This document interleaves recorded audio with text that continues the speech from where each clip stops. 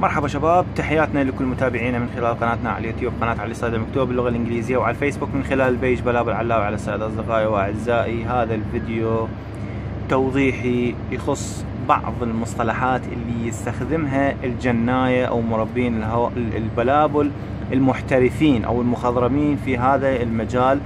آه هاي المصطلحات دائما يتداولها آه المحترفين والجناية آه يجي الهاوي أو الجديد بمجال تربية البلابل يقرأ هاي المصطلحات ما راح توصل له الفكرة ولا راح يوصل للمستوى المطلوب اللي إحنا نريد نوصله له إحنا هدفنا مثل ما قلنا نحب نصعد الهواية عند المبتدئين والهواة الجدد نوصلهم المستوى محترف بتربيه البلبل حتى نحصل على طيور ذات درجة ممتازة. ما نحب البلبل يظل يصوفر ما نحب البلبل يوميا يتمرض ما نحب إنه تربيتك للطير أو تقديمك للغذاء تكون غلط. لازم نوصل معلومات صحيحة من خلالها نوصل المربين الجدد إلى المستوى الاحترافي المتطور. حتى قلنا نحصل على طيور حلوة دائما نوصل بالمعلومة الصحيحة لكم حتى من تسمع الجناية يحجون أو المحترفين بهذا المجال توصل لك المعلومة صحيح و...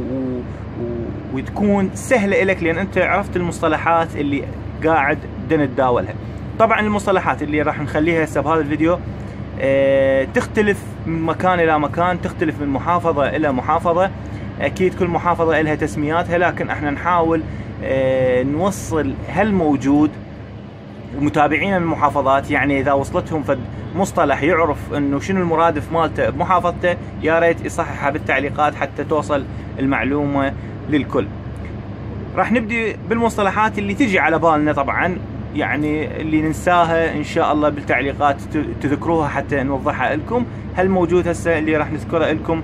أول شيء مثلا خلينا نقول كلمة مخلف هواي نتداولها لأنه هسه موسم إنتاج. كلمة مخلف تقص تط يعني نقولها على الطير اللي يكون عمره بين الأفراخ وبين البلبل البالغ. يعني إحنا كتوضيح يعني شلون مرحلة المراهقة. هنا مخلف يعني الطير قاعد يبدل ريشه قاعد دا تنمو سلوكياته دا يتطور التغريد مالته دا يتحول يعني من فرخ صغير إلى بلبل بالغ. فهاي المرحلة بينه وبين نطلق عليها كلمة مخلف. وتمتد من شهر لأن بعد الشهر يسمى مخلف إلى خلينا نقول ثمانية أشهر كحد أقصى. يعني من شهر إلى ثمانية أشهر كل هاي الفترة ينطلق عليها يطلق على الطير مخلف. أي بما معنى أنه من شهر إلى ثمانية أشهر لأن هنا موسم راح يبدي عندنا جديد. بعد ما يبدي الموسم بعد البلبل أصبح بالغ. فهاي الفترة كلها إحنا نسميها مخلف. يصبغ دائما يقولون شنو يصبغ تقصد؟ يصبغ يعني معناتها المخلف لما يبدي يصبغ لونه يبدل ريشة. إحنا تعرفون إنه الأفراخ والمخاليف يكون لونها أملح مو مثل ما هسه واضح. طبعا هاي إحنا طيورنا باقي بالذيل بس كم ريشة باقيات ملح ما يبين عندنا. فكلون كامل صابغات الطيور يعني صاير لونهن طبيعي وصابغات. الطير قلنا الأفراخ والمخاليف يكون لونهن أملح فنقصد عليهن باديات يصبغن أو تو بادي يصبغ أو صبغ كمل. فهاي التسمية اللي نقصد عندنا اللوخ يدرج يدرج أو يطرز. يدرج هنا نقصد على الذيل مرات أكو أكو أكو مخاليف من الصفي أو أكو طيور حايلة من تدخل تلك أو تلك هسه راح نجي عليها.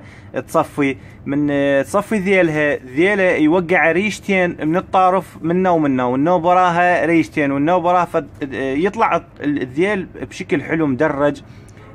فالشي كلش حلو راقي فاحنا نسميه طير مدرج. على ذيله لأنه ذيله صفاه بالتسلسل. من الطارف يبدي ريشتين بعد الريشتين بعد الريشتين آخر شيء لحد ما يوقع الريشة الأخيرة ومرات بالعكس. فيسميه إحنا طير مدرج يدرج ذيله ويطرز الطير. يعني من صفه وطلع الذيل الأسود اللي مطرز بأبيض نهايته. هذا طير مطرز ذيله إحنا نسميه يعني طرز ذيله كامل إنه الطير خلص وصفى ريشة كامل. عندنا كلمة خام. خام نطلقها على الطير البري أو الوحشي الصيد الجديد. خام يعني طير ما مسموع كل شيء ما مبين من عنده. آه، ما معروف شنو حنجرته ما معروف شنو لساناته نسميه خام. آه عندنا يبست يبست المخاليف الذبهة والكبار الذبهة ويبست يعني معناتها يغرد بصوت ناصي كلش. هاي الصوت الناصي عبارة عن لسن هسه هم راح نجي عليها كلمة لسن أو لغات آه بصوت ناصي يذبها الطير لأنه بعد ما متقنها فيظل يرددها بصوت ناصي ويا روحه يظل يظل لحد ما يضبطها يذبها بصوت عالي. هاي نسميها الكلمة إن كان يسميها بسد فوق البست مرات إنه شو يسوي؟ يذب اللسان بشكل بتر يعني يذبه عن النص أو بشكل ناصي ويظل يردد بيه نسميه فوق البست يقرأ.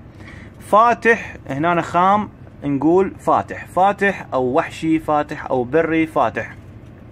فاتح معناتها قاري بالقفص. يعني اليوم أكو بلابل وحشية نخليها بالقفص تقفل ما تقرأ نهائيا. وأكو بيها تفتح بالقفص. من يفتح بالقفص؟ انتهى موضوع. يعني الطير يتقبل القفص ويفتح بيه. أكو طيور تعاند تاخذ شهر يلا تفتح أكو شهرين تفتح أكو ست أشهر تفتح أكو سنة يلا تفتح أكو أكثر. فهنا بعد ما يفتح الطير يعني إحنا نأمن من ناحيته. طير نسميه مكشوف. طير ما يخوف ومضمون. إن شاء الله يعني بهاي الطريقة نوضحها لكم. يعني فاتح يعني طير مضمون ومتقبل القفص وممكن بمستقبل الواحد يصبر عليه. لسان أو اللغة. اللسان يعني الطريقة اللي يقرأ بيها الطير لأن الطير يقرأ بعدة أشياء صياح مرات بست آه صياح هسه راح نجي عليها. يعني هواي شغلات فاللسان معناتها لغة الطير اللي تخص منطقته لسان أو اللغة. هي هاي اللي آه تعتبر شلون أقول لكم؟ يعني مثلا عنوان الطير أو عنوان البلبل الطور اللسان أو اللغة. هي آه، هاي بشكل أدق. البرواز برواز دائما هواي الأصدقاء إحنا ننشرها لكم نكتب برواز أليف أو برواز طور أو هيجي. عبارة عن حركة آه، الطير يشمر بجناحاته أو يرفرف بصورة سريعة بجناحاته يرفرف مو يطق جناح يرفرف سريع وياها لسانات ربع لسان أو نص لسان يقرأ بصورة صحيحة. هاي الحركة إحنا نسميها البرواز. طق الجناح أكيد تعرفوها كلكم وتختلف من محافظة لمحافظة. اكو مرات يسموها تشريعات اكو مرات يسموها إيه يعني والله ما ما ما تجي على بالي لأن هواي كل محافظات تسميها شكل فهي طق الجناح أنتم كلكم تعرفوها. طير حايل الحايل إحنا آه، اكو قسم بعد السنة يسموه حايل. واكو قسم بعد التلك الأول. إحنا التلك الأول حددناه اكو بيهن بعد ثمان أشهر واكو بيهن بعد سنة وشهرين اكو بيهن بعد سنة وست أشهر ست أشهر العفو. يتلك التلك الأول يسمى الطير بيها حايل أي بمعنى إنه صار جاهز للتزاوج. آه، قفل بعد ما ياخذ لغات. يعني طير إحنا نسميه حايل انه آه، وهي جتي من كلمة الحول طبعا الحول يعني السنة باللغة العربية. فالأغلب إحنا نسميه بعد عبور السنة الأولى يسمى حايل. وكو آه، بعد الثمان اشهر يعني بعد التلك الأول يسمى طير حايل. يعني عبر مرحلة المخلف صار أكبر من المخلف صار طير حايل بالغ كامل حايل.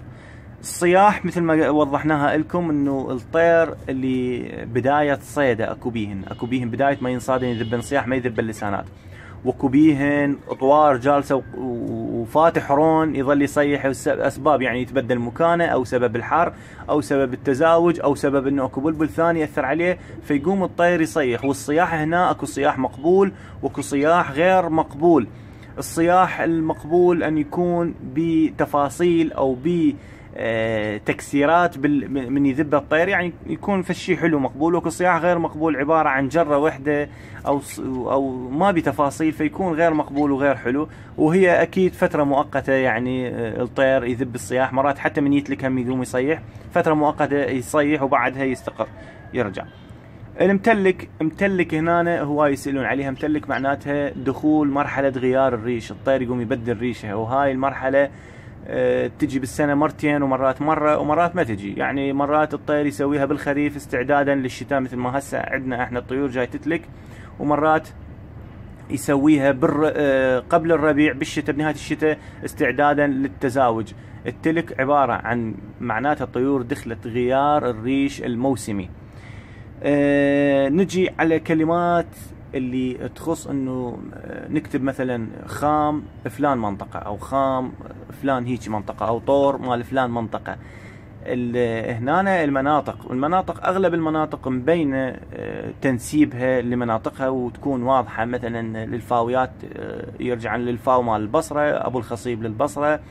مال دياله آه، اللي بيها مال بعقوبة مال الجديدة مال يعني مال أبو صيدة. يعني هواي أكو مناطق فتبين أغلبيتها عندنا البدراوي ناحية بدراوي جصان مال الكوت.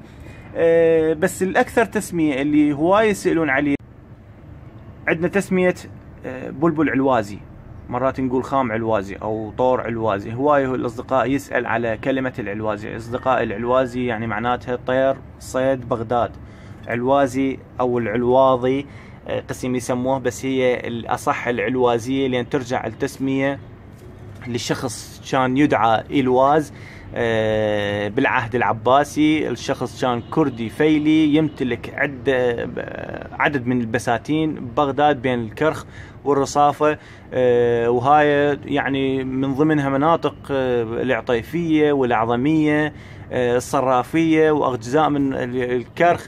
يعني عدة مناطق كانت بها بساتين الوزيرية من ضمنها بها هاي البساتين كانت ترجع لهذا الشخص علواز الكردي الفيلي.